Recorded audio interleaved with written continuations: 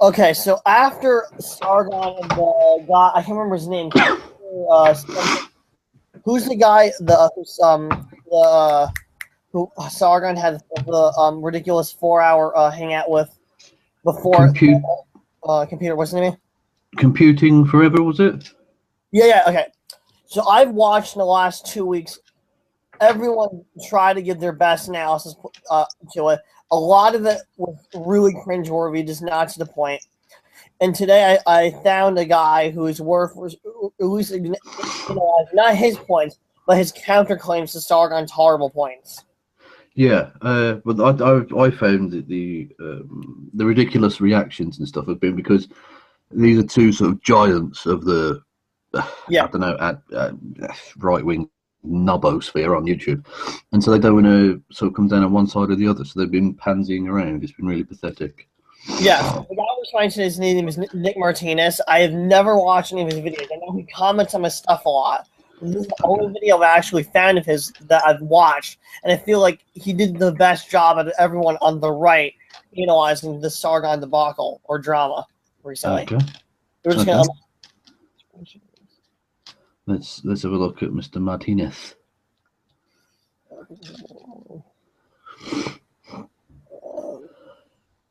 The fact that that's his icon already annoys me. I mean, look at it. okay, so let's go. of Akkad, I am genuinely disappointed that I have to make this video in the first place. If you have not yet heard, anti-feminist YouTuber Sargon of Akkad went on this live stream held by Computing Forever that was supposed to be about male performance and education and pretty much hijacked the stream to explain why he believes it is necessary to impose left-wing economic policy in order to appease the lower classes and prevent some sort of, I don't know, proletarian revolution once computing took back his stream, Sargon decided to leave. The two have engaged in a back and forth since then, but I was genuinely shocked at the. I mean, with all of this empirical evidence against everything that he's arguing, uh, that that Sargon would take this position in the first place. Uh, genuine. Hang on, is he surprised that Sargon is using an I don't know an unsourced claim or something? Is that a surprise to him? Let's Okay, yeah. listen. You institute a price floor above market equilibrium, creating a surplus of labor. Lots of people want jobs, but few people are willing to actually hire those people. This will destroy youth unemployment as well, increasing competition for low skilled jobs. Will do nothing to improve the economy. Of course, this is uh, also a major supply shock, so the purchasing power for those that are fortunate enough to actually retain their jobs is going to fall like a rock. The only options for businessmen is This is uh, this is bullshit, by the way, because Yeah, yeah, actually, yeah, completely. I, I'm, I'm, I'm not trying to stop it because I want to see where he goes with it because I'm trying to like not like cut him off. well, I am I am going to cut him off because uh, we can tell from the British experience that what he's just said is a lie because we Yeah. we only introduced a minimum wage in what the late nineties here in Britain, and Yeah. it had no such effect on the economy. It was bollocks. All the I- all the I- right I- wing the right wing fear machine said exactly the same shit that he is saying, and it didn't Yeah. happen. Well, um, I can take uh, New York, New Jersey, and Massachusetts are the only three states in the U.S. that has uh, I think a twenty-four dollar minimum wage at minimum, Right.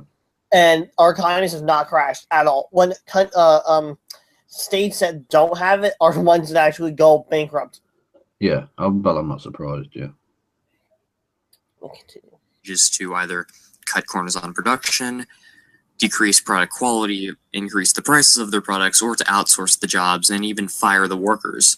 And po- Okay, so the jobs he's talking about are already outsourced. So, one second. Uh, Not just that, but aren't these exactly the same fucking people who make the argument that uh, you know Colin Kaepernick should be proud of the country, blah blah blah. But it's okay; they see it's absolutely fine for private companies to shit all over the country and its workers. Fuck these people; they're hypocritical dickwads.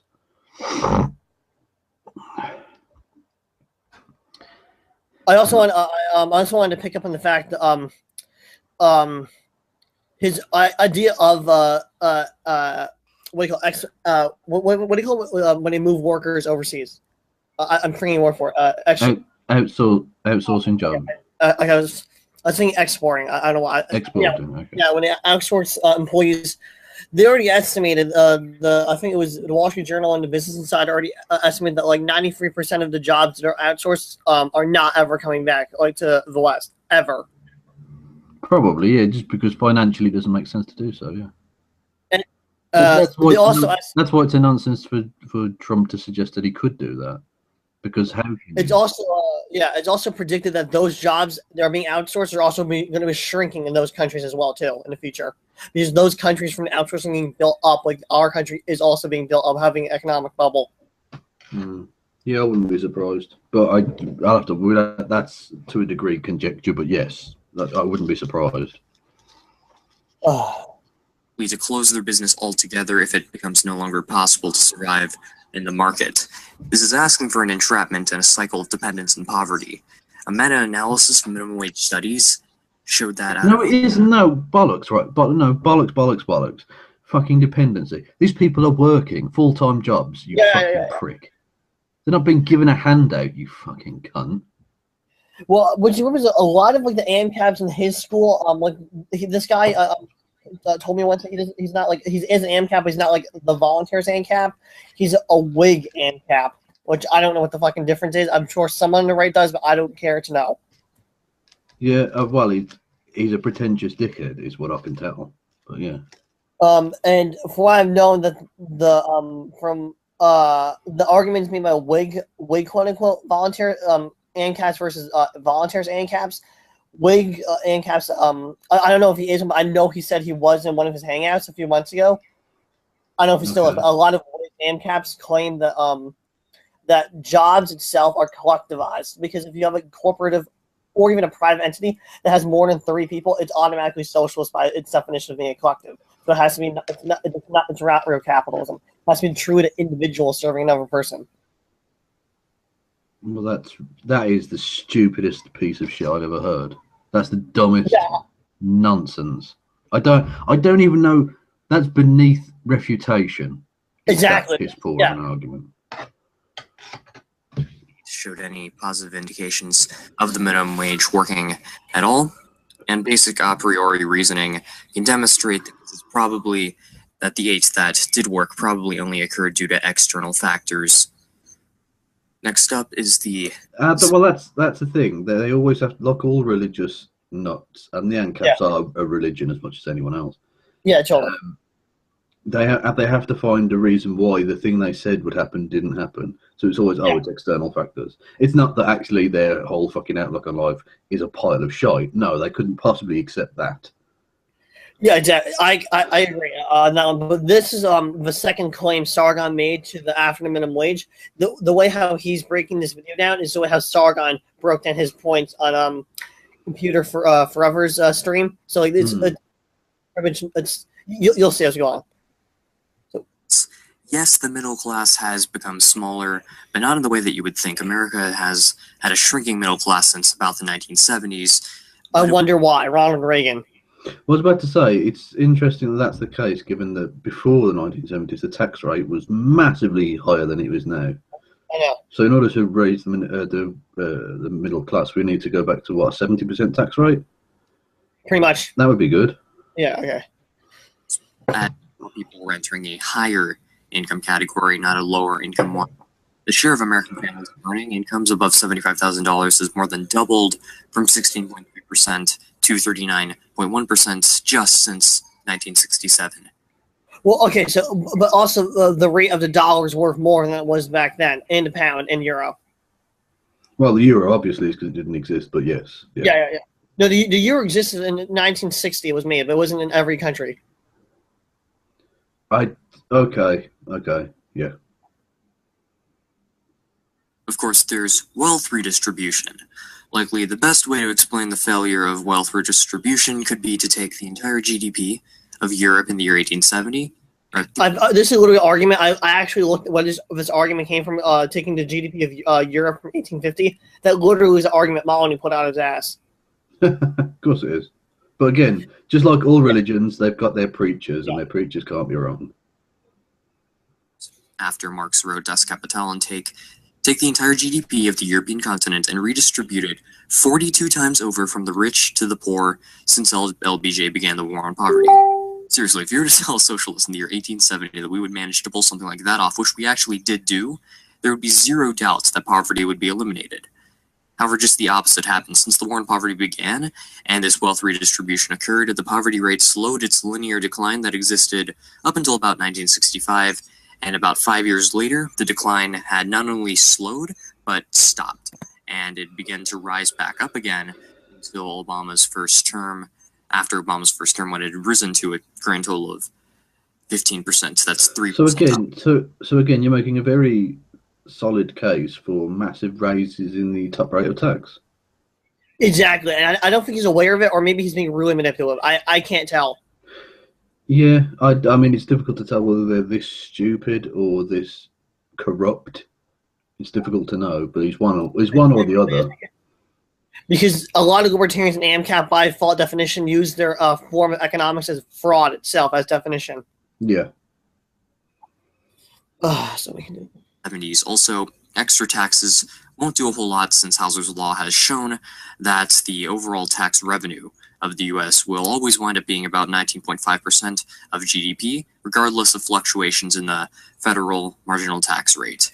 Okay, okay, I'm gonna stop there. I'm gonna stop. Um, I've I've looked into it, like tax haven countries in Europe, like Monaco, um, uh, Luxembourg, um, and other smaller ones. Yeah. and, Um, their GDP is big, but compared to other industrial countries, that um, it's theirs are like in the EU are bigger than their uh, per se tax haven society. Yeah. So um, I, I always wondered like why do these people never bring consideration the argument of like tax havens like like they do, but not the ones that exist from a state itself. Yeah, and not just that, but why again? Uh, I'm not necessarily saying him particularly, but they try and make the Yeah. economic nationalist argument in a number of cases, or try and claim that people aren't being patriotic, blah blah blah. But it's okay when millionaires shift huge Yeah. sums of money in order to avoid funding the society that we're supposed to be proud of. Uh, I don't know. Yeah, it's it's I by definition fault that is it's it's the idea of fraud of don't initiate force the not like taxation is theft is violence against me argument Yeah. yeah so um let me continue this distribution is just an absolute terrible idea if you look at the data. Of course, there's also Sargon's gripes with wealth inequality. Start off by quoting a EI. Most working Americans who initially who were initially in the bottom 20% of income earners rise out of that bottom 20%. Most of them end up in the top 20%, then remain in the bottom 20%. People who were initially in the bottom 20% in incomes have the highest rate of increase in their incomes, while those who were initially in the top 20% have the lowest. This is the direct this quote actually is from Sargon's video in reply to Eric a few months ago Do Did he say it was from the A- AEI? Yeah it was, no it was it was from the AEI but Sargon quoted it for his video for, about to, in reply to Eric Well, what a fucking surprise. Sargon's quoting the American Enterprise Institute again. Yeah. Brilliant. opposite of the pattern found when following income brackets over time rather than following individual people. Most data on income inequality, you're not aware, is totally nonsense since it net worth people groups over time.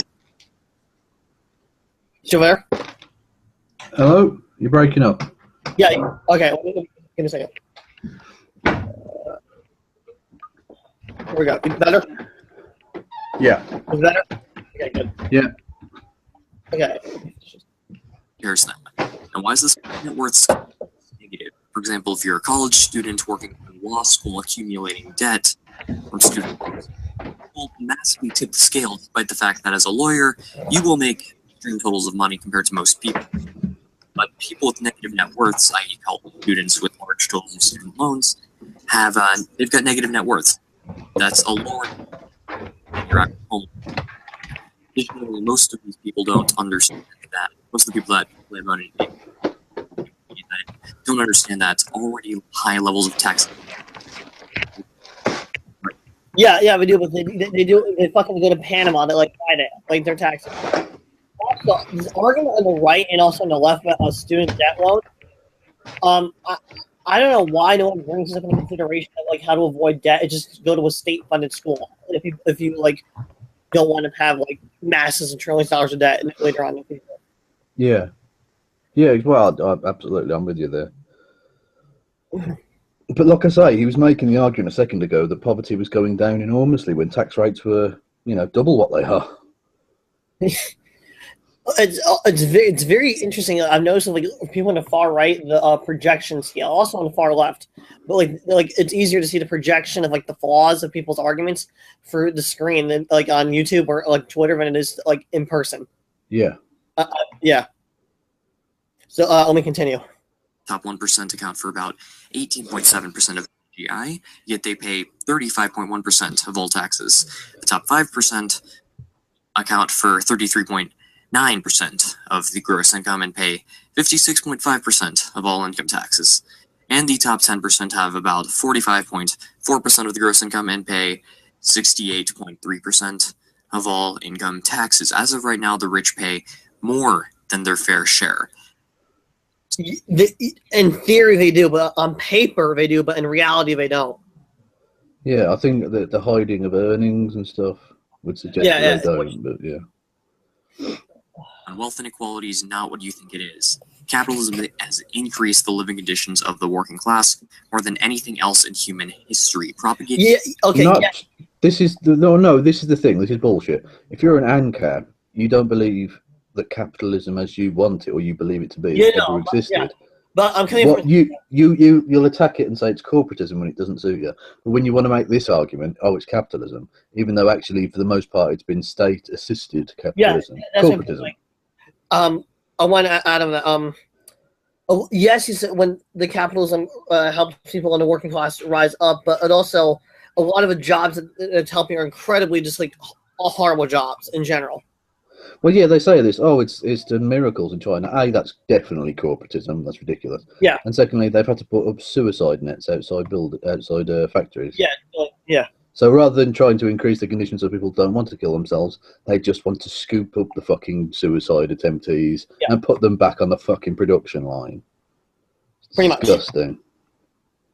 So it's like this is not doing anything good for the working class. It's led to mainstream massive wealth um, welfare states that have made it more profitable to take welfare than to work in 35 American states. That's not exactly going to be helping anybody out of poverty, is it? Now, Sargon Well, how about how about if you increase the minimum wage to the point where it's not more profitable to stay on welfare? I, I agree. Um, Just Th- just a thought. this is interesting. The claim here, he's replying to Sargon. Sargon actually in the stream when I'm watching it, this particular claim is not an ANCAP argument. It's not a left wing argument. It's an alt right argument.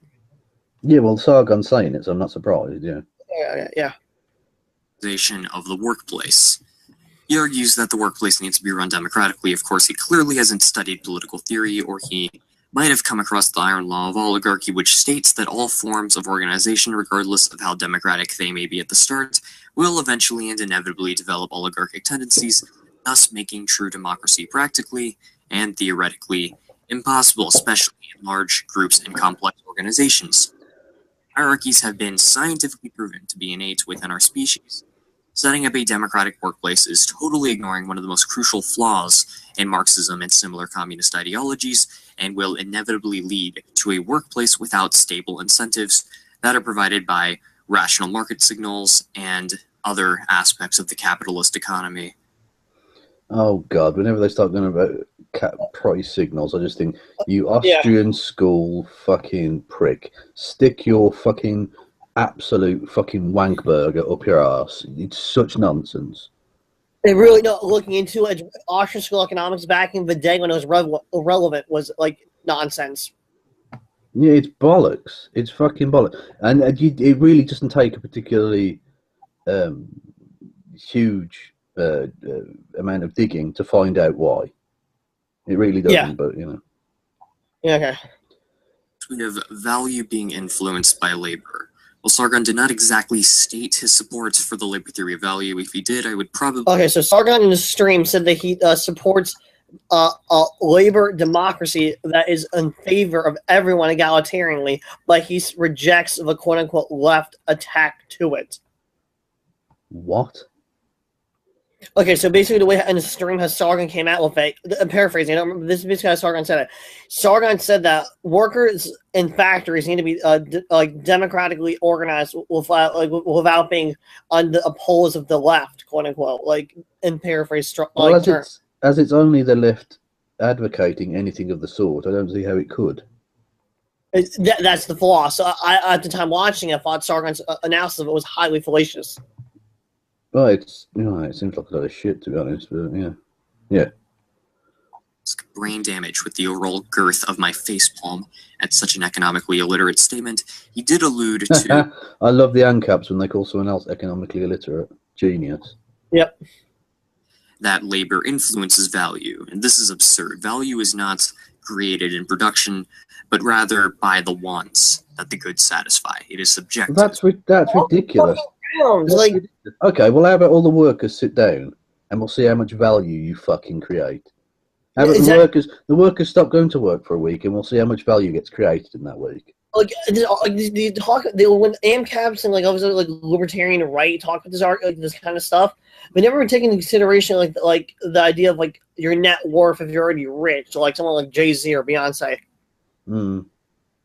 Where, where, they don't where like where they don't have to uh work like uh, make money off of uh uh like exploitation or, or having people work for them in general. Yeah. They make money from like the AdSense and clicks off of their services for the internet, whatever, quote unquote. At least a big part of it. Yeah. Well, absolutely. Yeah, absolutely. It's- Okay. The, the the the idea that um that uh, value only comes from wants is ridiculous because wants um wants unfulfilled give you give you nothing. No one's going to pay just because Yeah. they want something. They have to pay for something they're going to get, which has to be Yeah. created. years building a specific commodity, and it may be absolutely worthless to me, which is exemplary in things from art to automobiles, for example. It is extremely difficult and time consuming to build a pickup truck, uh, which I personally don't care for because it's unnecessary for my lifestyle. However, a farmer who may require one would find a pickup truck far more valuable. Additionally, prices are not determined by labor, they are determined by supply and demand, and so are wages. Learn economics, Sargon. I, I have to admit, like even for Nick, uh, um, his taken is really also wrong in my view. But also Sargon on that stream was also really not on like game like when when he went on that like stream. Well, was- Sargon's already showed himself to be economically illiterate in that conversation he had with Steven Crowder, if you remember, going on about Yeah. spending 10% of GDP on oh yeah, I do remember. Yeah, there wasn't that like in uh, March. I can't remember. It was earlier this year, yeah. And you just you just think that's so far from what the reality is that I mean you don't you clearly have no not even the first idea of how the government as it currently stands uh, sits. And so if if if if you if you don't even understand what the situation is now, how can you possibly hope to have any idea of what you want it to then become? Yeah, it's, uh, exactly. No, I agree. But I, I find it very odd that Sargon, went, I know for a fact, went to a business school. So like, how does he get like think he can get away with this like basic crap? But like, Well, he was obviously being suffocated by the fucking feminist system. exactly, the fucking feminist system. Exactly. You made that sound quite punk. That was cool. When he said it, it was really, really shit. But you made that sound quite punk. That was all right. Marx's alienation theory. Sargon also does allude to the uh, alienation theory that workers are alienated from the products that they produce because they cannot see themselves in the product of their labor and often cannot even buy the products that they build themselves. First off, the idea that it is necessary to see yourself in the product of your labor is absurd. For example, let's say you get a job making cars. You may not love your work, but your manufacturing job enables you to accumulate wealth. With that wealth, you can enable yourself to provide whatever product or service you can to the market. But you cannot simply Oh my god, it's it's so atomized. Life isn't just about money. Alienation it's not it's not absolutely essential. Yes, you can get through your life. Um Yeah, totally. yeah, with whilst hating your job or whatever. But in terms of A being more productive and B being a happier, more rounded member of society, it's better if you don't feel like you're wasting fucking half of your life on a job Yeah. you despise. No, no, I agree. It's, um, and Sargon and uh, uh, Nick's uh, um, analysis, both of them, because I've, I watched a lot of replies to Sargon, and this by far made the most sense. It was more most on point out of all of everyone, out of like the hundreds of watched in the last three weeks. Okay. But uh, I would say that everyone involved in the arguments to reply and back, it's all vapid on surface. It's very uh, uh, surface level uh, like stuff. No, the alt right being surface level, I well, I never knock me down with a feather. Good for that matter, and demand ownership of seed capital to do what you want when you haven't earned that seed capital in the first place. The world doesn't owe So you I any. pre- all right. So I presume you're against, completely against any uh, form of um, passing your wealth down to the next generation, inheritance. You're against inheritance then, because the people who who get that money haven't earned it. So we'd take hundred percent inheritance tax then. Yeah. Yeah, okay. Which is weird. is a lot- I've actually seen ANCAPs like like against heritage uh, uh, taxes. Oh, of course that, because they're basically conservatives who don't want to feel like cunts. Yeah, like Mr. At least, at least have the honesty to Yeah. to come out and say, no, actually, we're just for the rich. Yeah. Just have the honesty to come out and say that. And I would, I would respect you more if you did. I'd still despise you, but I'd respect you more. If that makes sense. Oh, yep. was here first. Continuing, if you're able to manufacture something that you can see yourself in without needing to work for someone else to accumulate the capital for that in the first place, why not simply go ahead and do that? Furthermore, many people do not care as as much about work and uh, seeing themselves in the product of their labor merely as a thing. Uh, they see work merely as a thing to do in order to make money, to be able to worry about other things that they care about more, such as their family, friends, perhaps less profitable activity. Yeah. Yes. No. That's that's fine. Yeah. But the point isn't that we're not saying every single person is that way. We're saying a lot of people are that way. A So lot. Essentially, you can take your straw man you're trying to beat to death there and stick it up your ass sideways. economic system shelved simply because they prefer to use a capitalist for their wages in exchange for work that they don't especially enjoy when there's not really a profitable way that they could do everything else alone. Finally, it's asinine to suggest that uh, workers are, are not not being able to purchase the products of their labor is some sort of problem. Capitalist abstains from production, which is what allows the worker to have materials and a factory to work in in the first place to produce these things. Without the capitalist, the worker could not begin to labor at all. And if he could, he wouldn't have to work for the capitalist anyway. Well, hang on, that's, that's nonsense because you can have small scale self production. Yeah, yeah. Which I was also going to rebut it from this this angle. He's coming at like in Italy during uh, from uh, in from the 1950s to 70s, it was illegal to buy a car imported. Everyone had to drive Fiat. Everyone had Fiat, Yeah. and Fiat was like at that time was a state run Yeah. Um, com- yeah. organization, and um they at the time made so much money from the circulation and taxation from the Fiat car and the repurchasing that over time the car got better, being one of the better cars on th- the low uh, lower uh, price range from the recycling of the Keynesianistic aspect of the state owning the means of production for the Fiat copyright and licensing. Yeah, yeah. I think I, actually that's a very good example. Yeah. Um, another another point worth making is the historical one. The the kind of large scale um, capitalist enterprise that he's talking about, as if it, a as if it's the only thing that exists today, which it doesn't, and secondly as if it's it's a ubiquitous part of human existence, or that it's always been around. Your version of capitalism, the or it's not even your version, the capitalism he's describing, which isn't actually his capitalism anyway, it's corporatism, but um, Yeah, has only existed for the past hundred years, hundred and fifty years at most. So what about the other? I- what about the other tens of thousands of years of human history exactly? which this is weird. This is really interesting. A lot of ANCAPs reject feudalism, but yet uh, adopt feudalistic arguments. When alt right supports feudalism but rejects feudalistic arguments. Yeah, it's almost as if they're talking out their arse. exactly. Just, I mean, again, just a thought, lads. You know. Just- just- yeah. And finally, Sargon argues that the failure to appease the proletarian will inevitably lead to some sort of a communist revolution. Did he say? Honestly, I'm guessing he didn't say communist revolution. I'm, he might have said revolution, but I'm guessing No, he didn't say communist. He said communist. He He, did? did, and he was applying Corbyn. Yeah, he did. Oh my word! Well, I am hugely surprised. Why the fuck has he said that when you don't need to?